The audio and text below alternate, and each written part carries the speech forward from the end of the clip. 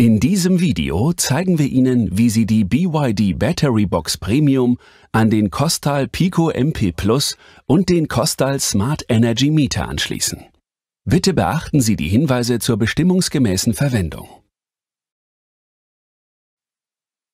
Installieren Sie bitte zunächst den Pico MP Plus und den Costal Smart Energy Meter Hierzu finden Sie Informationen in den jeweiligen Installationsanleitungen oder in unseren Erklärvideos. Außerdem benötigen Sie den Freischaltcode für die Batteriefunktion des Smart Energy Meters. Diesen können Sie im Webshop der Costal Solar Electric erwerben. Hinweis.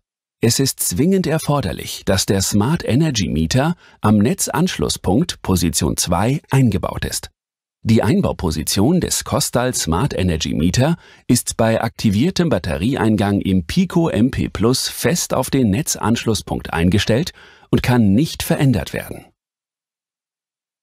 Während der Montage benötigen Sie Schutzleiterkabel und einen passenden Kabelschuh, eine Netzwerkleitung für die Kommunikationsverbindung zwischen dem Costal Smart Energy Meter und der Batterie, PV-Kabel für den DC-Anschluss und ein Sunclicks-Steckerpärchen aus dem Zubehör des Wechselrichters sowie optional ein Netzwerkkabel für den Anschluss der Batterie an das Internet.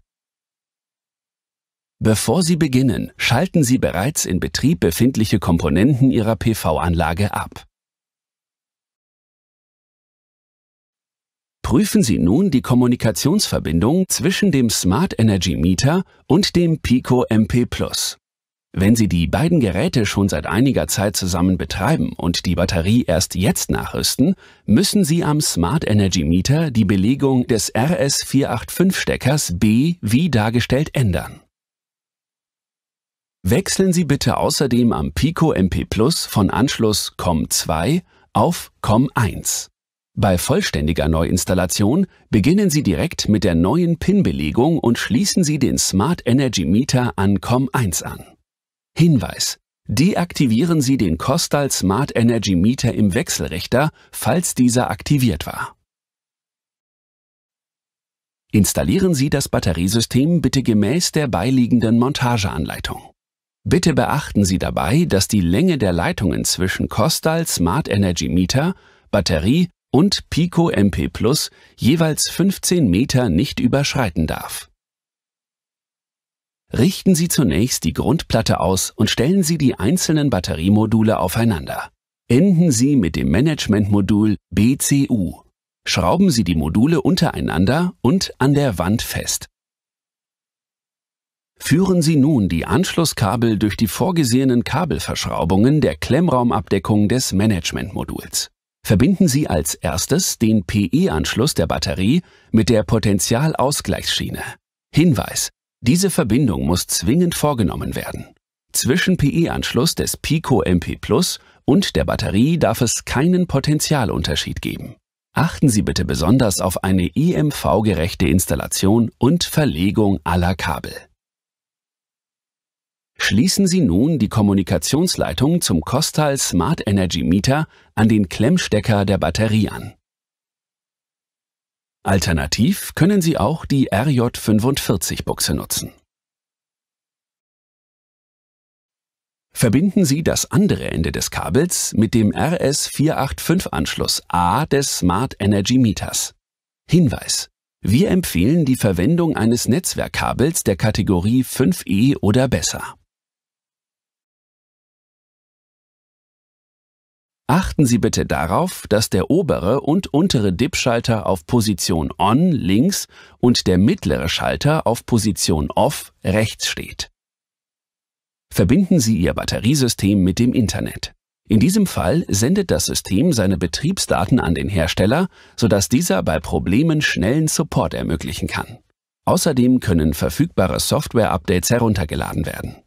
Verbinden Sie dazu den Anschluss mit der Bezeichnung Ethernet mit Ihrem Router oder Switch. Stellen Sie nun die DC-Verbindung her.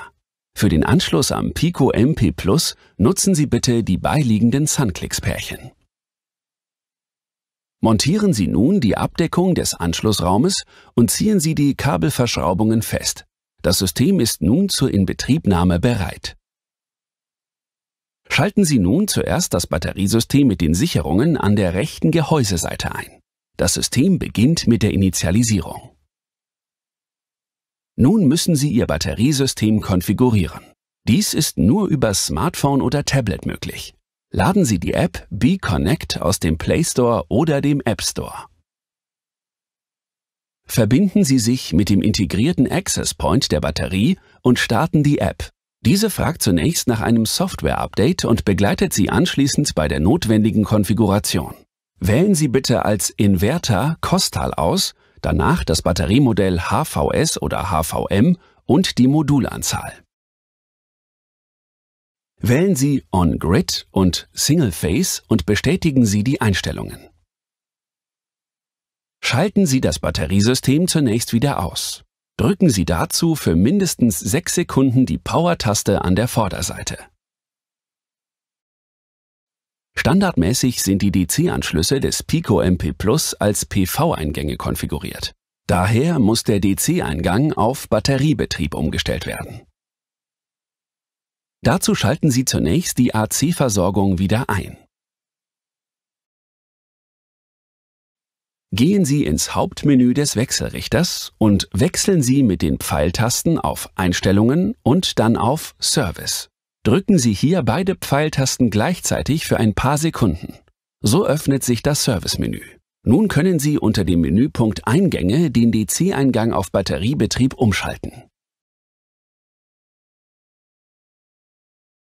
Verlassen Sie das Menü über die Taste Escape. Der DC-Eingang ist damit auf Batteriebetrieb umgestellt. Nachdem Sie die Konfiguration bestätigt haben, zeigt das Display eine fehlerhafte Kommunikation zum Smart Energy Meter an. Das ist nachvollziehbar, denn die Batteriefunktionalität muss erst im Smart Energy Meter konfiguriert werden. Schalten Sie jetzt das Batteriesystem mit den Sicherungen an der rechten Seite ein. Das System beginnt mit der Initialisierung. Öffnen Sie nun den Webserver des Costal Smart Energy Meters. Hierzu können Sie in Ihrem PC über den Datei-Explorer unter Geräte den dort erscheinenden Smart Energy Meter aufrufen. Rufen Sie zuerst den Menüpunkt Modbus-Einstellungen auf und deaktivieren Sie beide Modbus-Ports. Speichern Sie die Einstellungen ab. Gehen Sie im Wechselrichtermenü zum Punkt Aktivierungscode und geben Sie Ihren erworbenen zehnstelligen Batteriecode ein. Im Anschluss erscheint unter freigeschaltete Zusatzoptionen das Feld Batteriemanagement.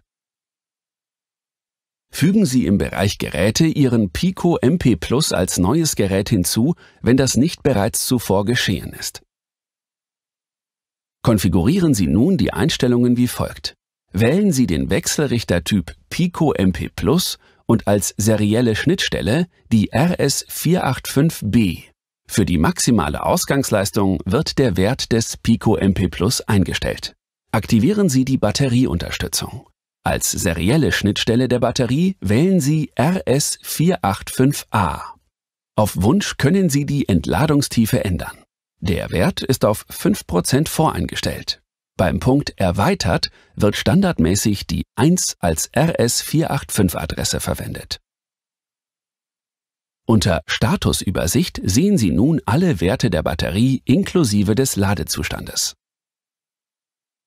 Im Menü Geräte wird Ihr Wechselrichter und die Batterie angezeigt.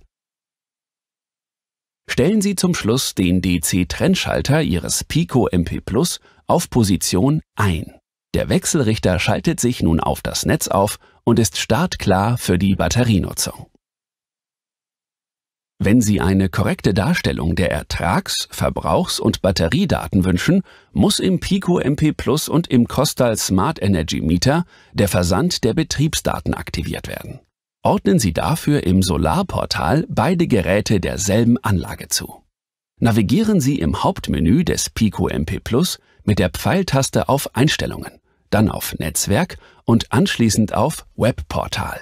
Aktivieren Sie Einrichten, um den Datenversand zu bestätigen.